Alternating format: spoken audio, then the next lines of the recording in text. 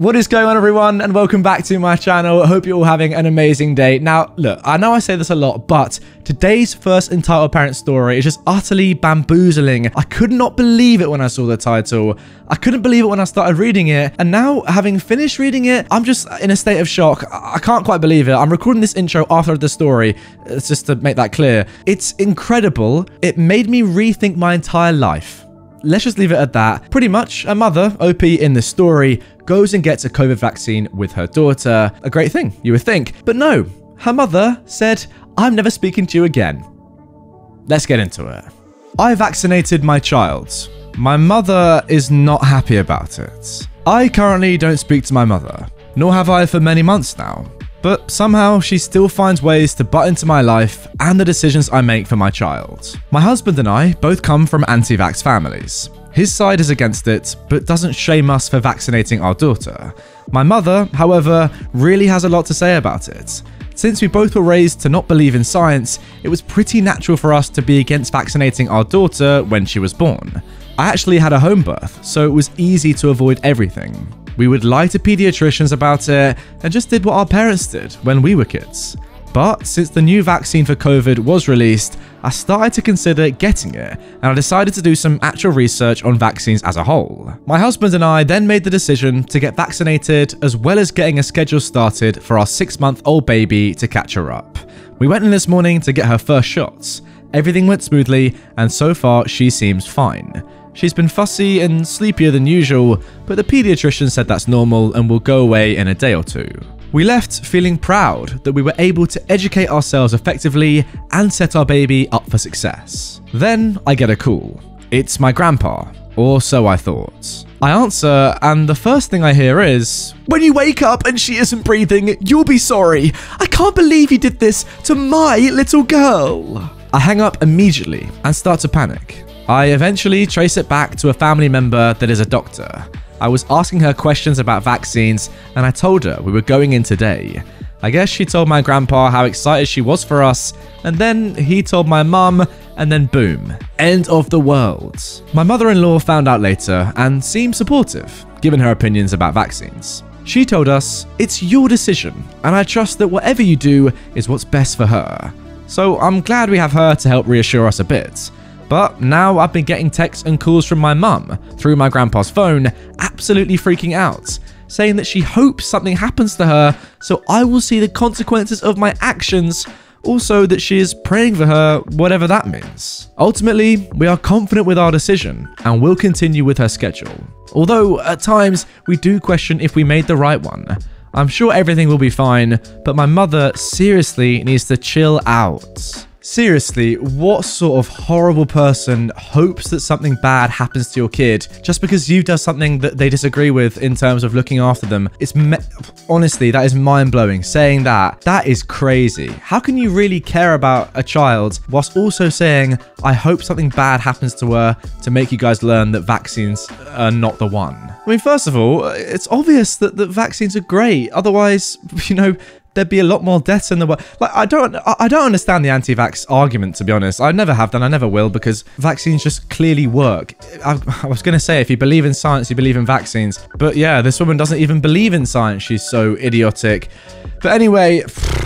wishing harm upon someone's baby because they go against something that you, that you believe in it's just mental. The one thing I'm happy about is that you say in the intro, P, that you don't currently speak to your mother. a uh, great decision. First of all, there's probably many, many more reasons for it than just this, but um, yeah, it's it's no surprise that you've made that decision. Uh, yeah, well done. Never speak to her again. Maybe uh, change your identity, move to another country. Make sure that you never interact with that woman again because she is nothing but trouble. Now moving on to our next post. Karen's demon semen. De- yeah, Karen's demon semen holds my kid hostage on Easter. Demon semen. Uh, that's a good one. Safe to say, I do not get along with my wife's family. They blame me for turning her gay. So during. Oh my god. This has not started off well. Alright, they blame you, OP, for turning her gay. So during holiday get togethers, I focus on the kids or tuck myself into a corner away from everyone else. That's where I was when the trouble began. The small house was crowded with bodies for Easter dinner. Now, this story happened pre pandemic, and since the kids were off playing, I settled in a seat in the corner. My sister in law rounded the corner with large eyes to tell me, Your daughter is screaming for you. I was struck by her wording. So as I got up, I asked, She's calling for me? No, she's screaming. Well, that kicked my parental instincts into high gear, and I bolted to the playroom down the hall. I could hear my daughter, seven at the time, screaming and wailing even before I reached the door. But the door was locked. I'll admit, I could have taken an extra moment to get someone inside the playroom to unlock the door, but I was focused solely on reaching my kid. So, I gripped the handle and turned it hard enough to pop the lock out of place and shove open the door. Of course, the first face I see is Stacy, Karen's little spoiled brat, staring up at me with wide eyes because the door had nearly hit her when I forced it open. In the next moment, my daughter is clinging to me, tears streaking down her cheeks.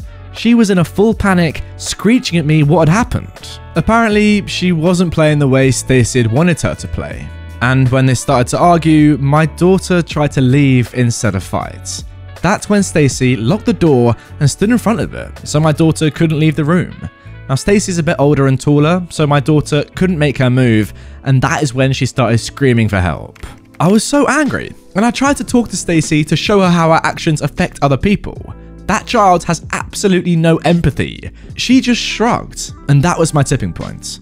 I announced loudly that my daughter wasn't to play with Stacy anymore. I picked her up and carried her to my wife, her parent of choice. Only when Stacy started crying did anyone else get involved. All those adults, no one responded to my kid screaming for help, but as soon as Stacy tears up, the whole world stops. Karen, Stacy's mum, followed me into the front room. She's got it going on. Can I just say that?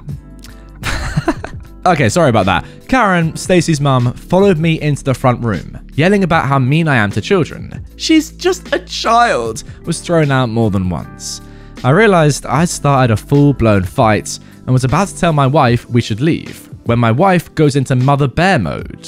Oh, and by the way, guys, OP is female and has a wife, if that wasn't clear. I should mention that at this point, my wife was about five months pregnant with our second child, and very hormonal.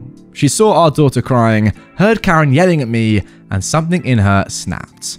Usually, she is very soft spoken, so much so that her family thought I somehow control her every thought and action, hence them blaming me for turning her gay.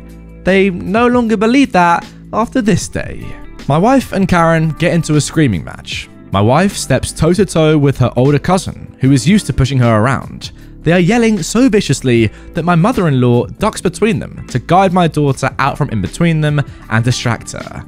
It was an admirably smooth rescue on her part, actually. I don't even remember what all was said, but Karen accused me of child abuse, and my wife told her how badly she was failing Stacy as a parent to allow her to act the way she does. Everyone else was stunned for a few moments watching the exchange.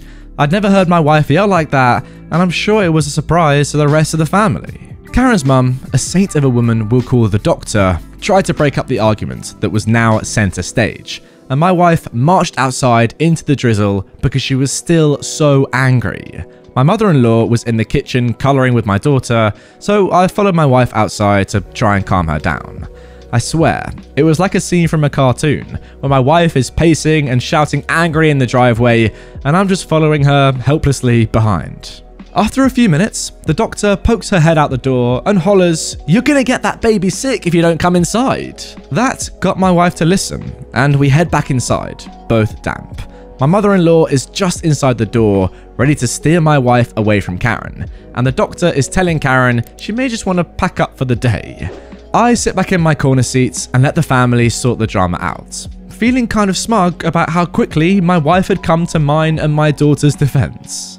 Karen made quick work of packing up their things, and the doctor escorted her and Stacy to the door.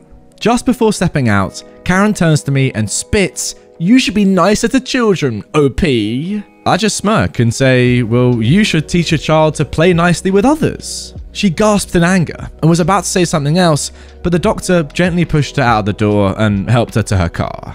After we left, the family tried to blame my daughter for the trouble in the playroom, saying she was making mountains out of molehills and I overreacted. We were the black sheep for a little while. A year later, my wife and I graduated from college and we were having a celebratory dinner with her family. It was pleasant. Karen wasn't there with her demon semen, but the doctor showed up. She's a nice lady, so no trouble there, until we were all getting ready to leave. I was waiting for my wife, and the doctor sits next to me to make small talk. What are my plans after graduation? Are my parents happy for me? Just pleasant stuff. And then she says it. You know, we were talking to the other kids in the playroom that day, and they said Stacy didn't lock the door. They all told me when it happened that she was the only one who touched the lock. Right, but we spoke to them later, and they finally admitted that she didn't. I stayed silent. So, you know, we can let it go. I have let it go. You didn't need to bully those kids into lying for you, though. And with that, my wife came out of the restroom and I immediately stood up. Because our daughter didn't want to go and play at Stacy's house anymore, they all blame me, saying I was the one keeping them apart. False. My kid just understands she doesn't have to suffer abuse just because we're family. Oh uh, yeah, screw that. Who cares if you're family or not? If you don't like someone, don't see them. Pretty simple. It's actually a bit weird, right? Like, if you, you know, come across a normal person out in the wild in public and you don't like them, you'd probably never speak to them again, right? You wouldn't be friends with them. You wouldn't see them again. You just forget they ever existed. Why is it not the same with family? I get that family is obviously like you know, a genetic thing. We're all the same bloodline and all that. But why is there like an actual demand or like a, I don't know, like a, it's a prerequisite that we have to always go and visit our family on certain days? I mean, I like it because I like my family, so it's a nice tradition. But what if everyone in a family hates each other? Surely at some point you just go, you know what? Let's just sack this, sack this all off because clearly none of us like each other. Our kids don't get along. We argue as, as parents. Should we just not see each other again and just be done with it and go and see our actual friends who we want to spend time with and our kids don't have to get bullied and abused by other people's kids? Wouldn't that be class? I don't know. Sounds more enjoyable to me. I don't really know why more families don't just split up and say, yeah, who cares we're family? I'm done. I mean, maybe that happens and I just don't know. But yeah, comment down below, guys. Do you like your family? And if you don't, if you despise them, do you still see them? And do you like talk to them on special days? Or do you just forget they even exist? Let me know. I'm actually quite interested.